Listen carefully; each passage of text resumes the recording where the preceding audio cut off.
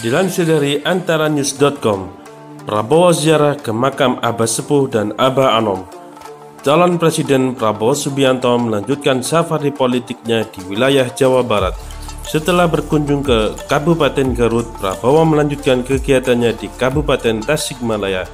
Dalam keterangan tertulisnya disebutkan setelah tiba di Tasikmalaya, Prabowo langsung melakukan ziarah ke makam dua tokoh ulama karismatik Jawa Barat yaitu Syekh Abdullah Mubarak atau Abah Sepuh dan makam Kiai Haji Sohibul Wafa Tajul Arifin atau yang dikenal dengan julukan Abah Anom.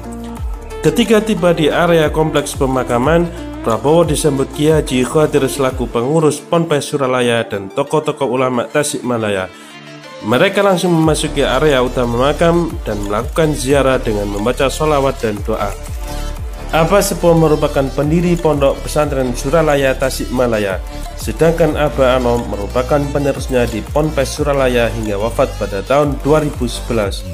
Setelah melakukan ziarah, Prabowo bersama para rombongan langsung menuju ke kediaman pimpinan Ponpes Suralaya Kiai Zainal Abidin Anwar mereka pun berbincang sembari menikmati santapan yang telah disediakan.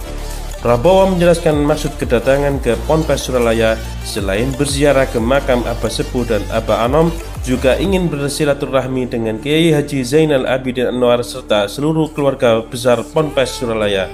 Selain itu dia juga memohon doa restu agar segala perjuangan pada pemilu 2019 ini diberikan kemudahan Allah Subhanahu wa taala.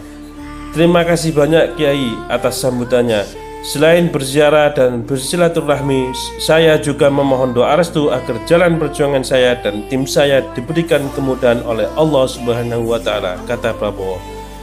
Mendengar permohonan tersebut, Kiai Haji Zainal Abidin Anwar yang juga didampingi oleh para kiai dan tokoh ulama Tasikmalaya langsung mendoakan Prabowo. Di akhir pertemuan, Prabowo diberikan sebuah buku bersambul hijau bertuliskan tanbih sebagai sebuah cenderamata atas kunjungannya ke Ponpes Suralaya tersebut.